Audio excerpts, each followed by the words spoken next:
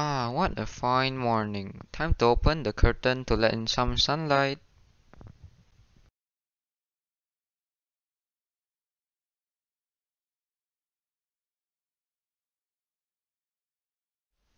Don't you agree that the outside weather is pretty?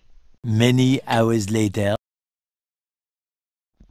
Ah, the sun is so blinding. I have to close this curtain.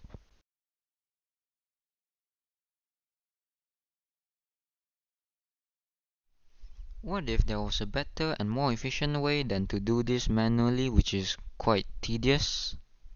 Even in this world of automation, people still have to be present in order to control the drawing of curtains. This continuous process is tedious and risks damage if forces are applied wrongly. We have brainstormed day and night to solve this dilemma. Introducing Photon Defender, the smart curtain. People can control Photon Defender through a mobile app. Our product will also operate judging the light intensity. Therefore, human presence is not required to move the curtains.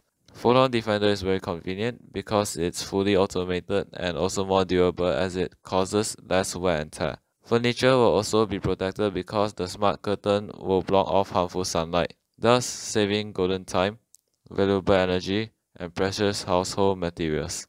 To briefly show how this app works, over here I'll be able to see all the curtains that I've set. Currently, I've set one as my living room.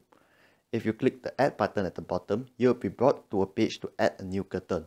Some features in this page are still currently in development and therefore will not be demonstrated in this demo. So if you move back to the home page and go into living room, you'll be able to see a, a few settings.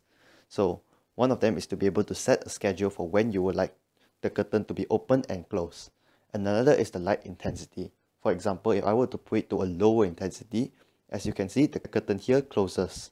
I could also choose to manually close and open the curtains with the buttons down here.